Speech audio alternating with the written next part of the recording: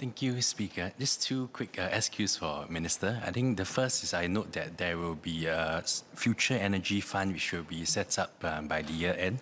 So just wanted to ask um, if there is any specific amounts that will actually be earmarked for these two uh, new technologies for the infrastructure and grid upgrades that will be necessary should we decide to go ahead with um, implementing this in a larger scale. Second is in terms of, uh, I note Minister's response that it is still, the government is still monitoring SMR technology.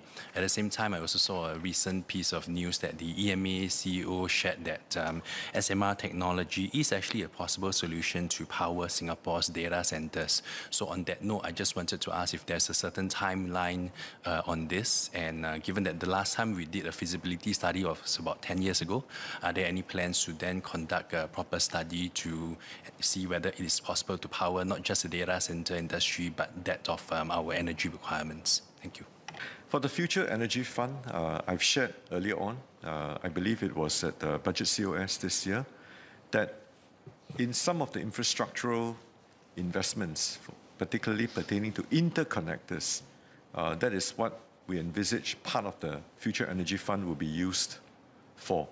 Um, it would be um, premature at this particular point in time to sort of uh, talk about what amounts have been earmarked, with time, we will come back and lay out what are the uh, the amounts that we have actually been setting aside to to, to develop and um, to sort of uh, invest in to seed and to catalyze some of the development. So the first point is perhaps for the members' own uh, uh understanding, the first focus will be on the interconnectors, and this is relating to the renewable energy imports.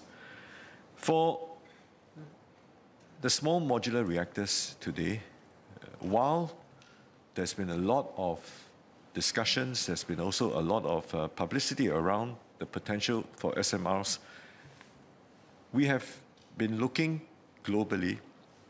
The number of sites where one SMR has been deployed in a commercially and economically uh, feasible segment has yet to be demonstrated.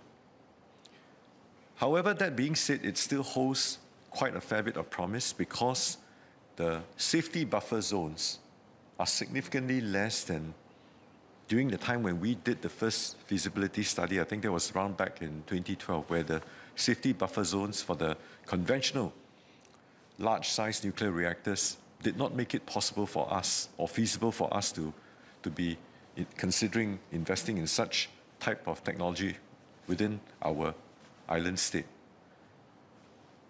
However, today, given the nascency of some of these projects, we have not decided whether we will move on to another feasibility study. We're waiting for data to come out. We have uh, just entered into an agreement, the, the 123 agreement with the US. Our main focus is on understanding the safety, the reliability, and the technical aspects of smaller modular reactor type of technology. I think in the context of thinking forward, what are some possible pathways we can use because we do have, we, we have committed to a net zero target by 2050. So what are some of the alternative pathways you can do for us to continue to fulfill our zero emission target at the same time accommodate high growth industries, whether it is in uh, semiconductors or even uh, wafer fabs or even data centers, we will explore all possible pathways in order for us to, to enable our policy space to be able to accommodate some of these setups. So SMRs is one. I've also shared in this house that we are also looking at geothermal exploration. We have, uh, as I've earlier on shared, that we are considering using ammonia, green ammonia as a pathfinder. We are also looking at the possibility of carbon capture and storage. We are also working with like-minded countries for implementation agreements according to Article 6 of the Paris Accord on carbon credits as well. So it is one of multiple pathways that EMA, the Energy Division of MTI, have embarked on to explore every possible means we can to decarbonize. And within our confines of policy space in terms of affordability and sustainability. Thank you.